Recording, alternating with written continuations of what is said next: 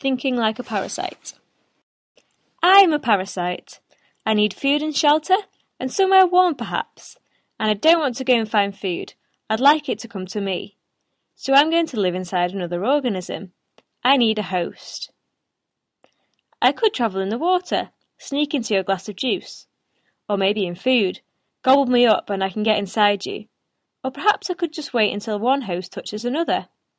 I'm the champion of causing water and foodborne illness. I'm only tiny, so nobody'll see me. In fact, some of us are just single-celled organisms, although you might spot one of the worms. Ooh, a human. They can be a great host for parasites, like viruses or worms. I also like animals too. I can go from human to human, human to animal, animal to human, whatever comes my way.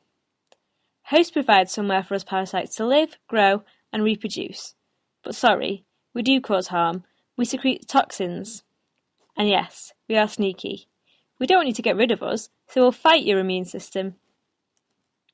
But don't worry, we shouldn't kill you. Then I'd have no food.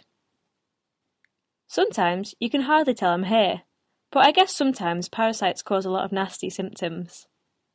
If you're lucky, you won't be a permanent host.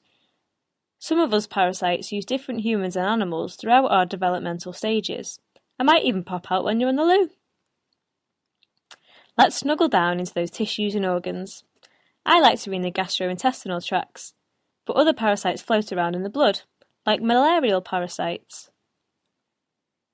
Ooh, vitamins. I'll take those. And some amino acids too. No wonder I make you feel poorly. Sorry to harm you. I'm benefiting at your expense, but that's what parasites do. Whilst I'm here, I need to reproduce, Live, grow, and multiply. That's what I say. I always reproduce at a much faster rate than my host. Anyway, host, thanks for my food, water, heat, habitat, and impending transmission. I'm off.